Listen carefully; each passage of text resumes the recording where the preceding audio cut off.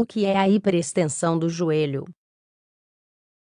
Em crianças mais velhas e adultos, a hiperextensão do joelho pode causar o rompimento de algum ligamento, especificamente o ligamento cruzado anterior. A hiperextensão do joelho é uma lesão que ocorre quando esta articulação tem que se estender para trás mais do que sua faixa normal de movimento. Quando isso acontece, as estruturas do joelho e a sua parte posterior sofrem muito estresse. Essa lesão pode ser sofrida por qualquer pessoa, pois geralmente ocorre por uma queda inadequada após um salto. No entanto, muitas vezes é mais comum em pessoas que praticam esportes. A lesão pode danificar ligamentos, cartilagens e outras estruturas, que contribuem para a estabilidade articular. Além disso, deve-se notar que, em crianças pequenas, essa condição pode fazer com que um pouco do osso principal se desprenda se os ligamentos estiverem muito esticados.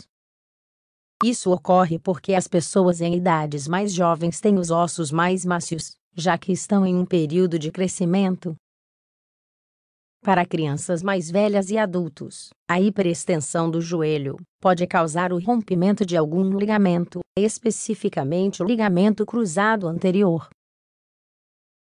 Causas da hiperextensão do joelho: A hiperextensão do joelho costuma ser o resultado de uma pancada direta no joelho ou das forças geradas durante a frenagem seca, em suma, entre as causas mais comuns, que costumam causar essa lesão, estão empurrar o fêmur, ou a rótula sobre a tíbia e excesso de estresse em um ou mais dos ligamentos principais dentro da articulação. Um impacto inesperado na frente do joelho, o que causará um movimento para trás da articulação. Geralmente acontece em situações físicas traumáticas, Quais são os sintomas dessa lesão?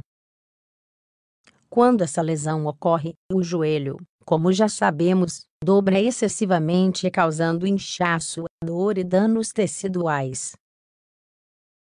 Nos casos mais graves, os ligamentos, tanto cruzado anterior quanto posterior, podem ser lesados. Além disso, os ligamentos cruzados também costumam se romper nesse tipo de lesão. Dependendo do grau da lesão, os sintomas variam. Estes também dependerão da pessoa e da força de cada joelho.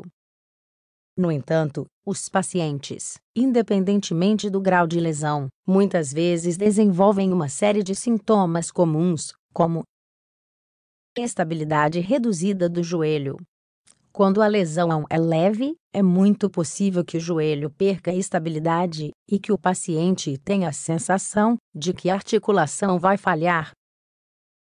Dor. Como em quase todas as lesões físicas, a hiperextensão do joelho causa dor localizada. Essa dor vai ser sentida uma área ou outra, dependendo do ligamento afetado. Perda de mobilidade Após este dano, a mobilidade da articulação também pode ser alterada. A causa disso pode vir do inchaço desencadeado, edemas e inchaço. Uma vez que a lesão ocorreu, a inflamação pode aparecer imediatamente ou demorar um pouco mais, mas sempre aparece.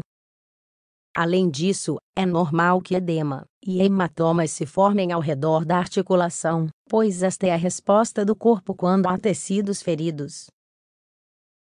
Diagnóstico de hiperextensão do joelho. Ao diagnosticar essa lesão, é importante identificar uma série de sintomas característicos.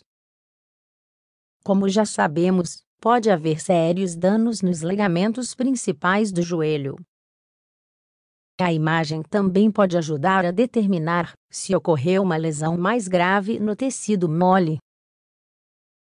Entre os sinais que aparecem quando ocorreu uma lesão ligamentar grave, podemos citar ao estender o joelho, ouve-se algo como um clique.